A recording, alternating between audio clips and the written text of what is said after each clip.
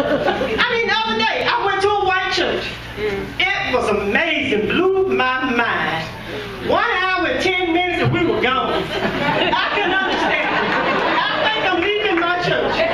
We got to the church, they opened the hymn book, they read every word in there. They didn't add anything they didn't take anything out. They got to the last one, they closed the book and they sat down.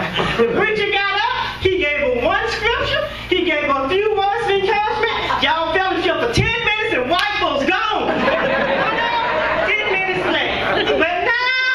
my church, my church, black folk, y'all